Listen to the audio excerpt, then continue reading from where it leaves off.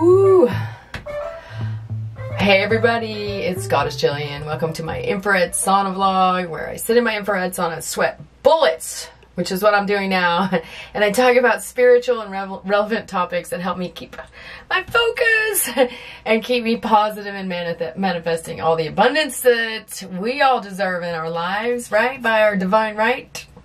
Holy cow. Today was a really challenging day. Today's day, well, today is day 13 actually of my quarantine. Five days of self imposed and then whatever, eight days of mandatory stay at home. And I, for one, have taken this really seriously because partly because I do psychic readings and what I'm seeing is just not a pretty picture in general and that I, you know, I don't know how else to say it, but we got to buckle down and go under this wave. And the wave is that what they're showing me in my readings, it is symbolic for this wave that you see on the graph. We got to flatten out the wave and we got to flatten out the curve and we got to just buckle down. And I feel like that it's been tricky for me because I don't want to be a naysayer and I don't want to, you know, spew negativity or, or incite fear because the reality is you don't have to be afraid if you take, if you look at the facts and you do what you need to do to quarantine. You know, and I know there are situations out there where people are really going to start to get pretty intensely panicked because of money and food and, and necessities where they're going to have to have them and they don't have the money for them. But that's the second part of this whole dilemma. The first part is getting people to realize the seriousness of this dang virus.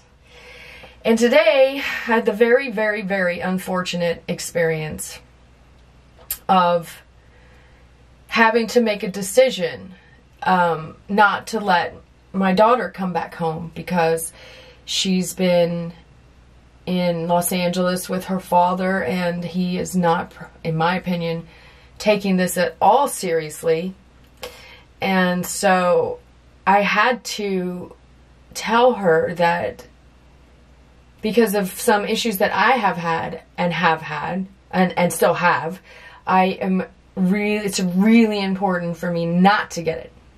Okay. And as the hospitals fill up and things become a little bit more intense here over the next couple of weeks, which they will, um, the thought of even having to try to navigate the medical system at this point is just like, you don't want to do that.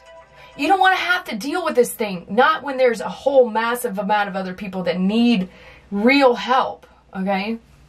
And so the trick is just not to get it right now. You know, if you get it later when it's not a freaking pandemic, you can go to the hospital and get treatment and get attention and get focused.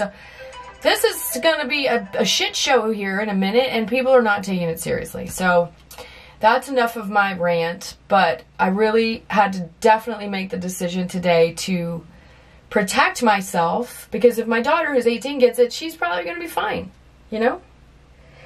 I suppose there's a risk, but her father refuses to look at any risk. And he's selfish and they, you know, that's their decision and that's their path.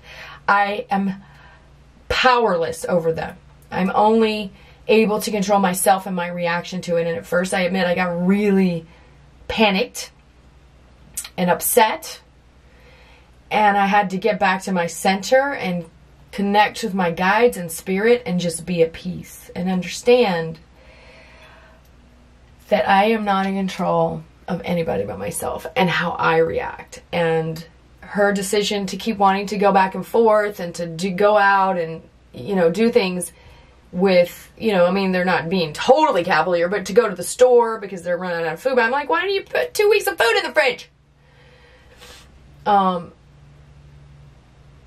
anyway, there will be some choices that we have to make for our own health and well-being and safety and they won't be easy. But make the right choice because if you protect yourself in turn you're protecting others.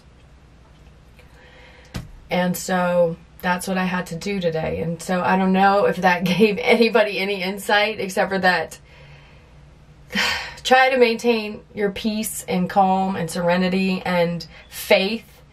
These are times when you really have to have faith and you have to let go and let God because I could have literally gone down the rabbit hole thinking about my daughter down there with a cavalier dad and not being able to do anything about it. I literally, it was overwhelming. And so I had to come to a place of acceptance. And there's going to have to be a lot of acceptance in this too. And so these are all lessons. You know, I know all of us probably over the goddamn lessons. We had enough of that crap in 2018 and 2019. Jesus freaking. Oh, God, sorry. Fuck. But come on. like, really? Is this the final hurrah? Is this it? What is it? Anyway, I'm sorry. It was just a really emotional and challenging day. And hopefully, just by me talking about it, I'll be able to have more peace about it and more acceptance about it and more understanding about it and more faith in God, my higher power, that it's all going to be fine. So I hope you're all being safe, quarantining. I hope you're all stocked up and fed. And I'm going to send blessings and prayers to all of you. I put up a donation on my goddessgillian.com website so that you can donate food to people in need. And if you have even $5 extra, go for it. And if you need food or supplies or anything essentials and you don't have the funds because you've been out of work, go online and find places that are donating or, or institutions or companies or places, food banks, whatever, so that you don't have to get into a place of desperation. Okay? Be proactive. Okay? Don't wait for the government either. Okay, so please be safe. Please subscribe. We're going to get through this together, and I hope everybody just can breathe.